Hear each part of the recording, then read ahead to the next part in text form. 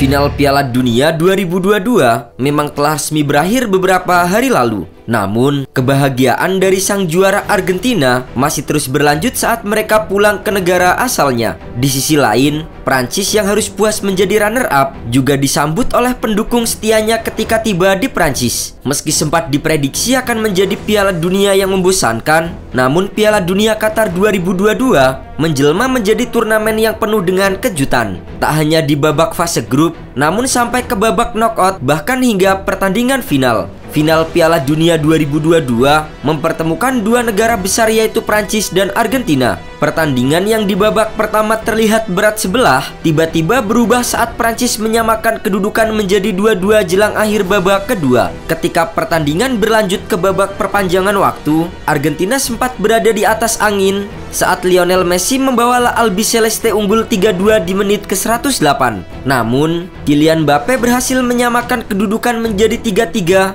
melalui tembakan penalti 10 menit kemudian. Di babak tos-tosan, Argentina akhirnya keluar sebagai juara setelah dua penendang Prancis gagal menjalankan tugasnya. Meski timnas Prancis telah mengakui kekalahan atas Argentina, namun tidak dengan para pendukung setia mereka. Melalui media lokal Lukip, mereka menuding bahwa gol ketiga Argentina yang dicetak Lionel Messi di babak tambahan seharusnya tidak sah. Hal itu karena ada sejumlah pemain cadangan timnas Argentina yang masuk ke dalam lapangan sebelum Messi menjebol gawang Hugo Lloris. Menurut aturan, gol kedua Lionel Messi seharusnya ditolak oleh Simon Marquinhos. Kami menjelaskan alasannya. Ketika Messi memasukkan bola muntah dari Hugo Lloris, beberapa pemain pengganti Argentina yang terbawa emosi sudah berada di lapangan bersiap untuk merayakannya. Ini sangat dilarang. Momen kontroversi itu terjadi pada menit ke-108 saat Lautaro Martinez melepaskan tembakan yang masih bisa diblok oleh Hugo Lloris. Bola ribon kemudian dicocor Messi menjadi gol. Sempat ada dugaan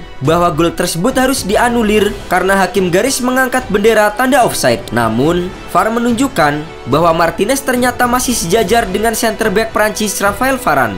Namun, Lukip tetap menilai bahwa gol tersebut seharusnya tidak disahkan oleh wasit. Pasalnya, ketika momen Messi mencocor bola, ada dua pemain cadangan Argentina yang masuk ke area permainan. Lukip menilai bahwa Prancis harusnya mendapatkan tendangan dan bukan kebobolan. Hal itu juga terjadi pada pemain Prancis Olivier Giroud saat melakukan protes sampai masuk ke lapangan di akhir babak kedua. Karena aksinya itu, Giroud harus dihadiahi kartu kuning oleh wasit meski sudah ditarik keluar. Selain itu, Lukip juga merujuk pada aturan permainan sepak bola Law of the Games pada pasal 3 paragraf 9 yang berbunyi jika setelah gol dicetak, wasit mengetahui sebelum permainan dilanjutkan bahwa ada orang tambahan di lapangan pada saat gol dicetak. Wasit harus melarang gol jika orang tambahan itu adalah pemain pengganti, diganti pemain, pemain yang dikeluarkan atau ofisial dari tim yang mencetak gol.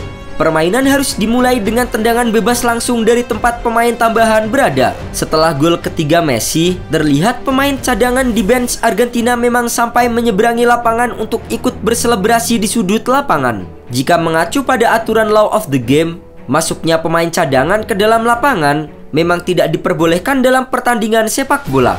Namun di pertandingan malam itu, Wasit tidak mempermasalahkan hal itu karena mungkin dengan alasan krusial. Pada akhirnya, pertandingan final Piala Dunia 2022 harus terus berjalan dan berlanjut ke adu penalti. Pertandingan pun kemudian dimenangkan oleh tim Tenggo dengan skor 4-2.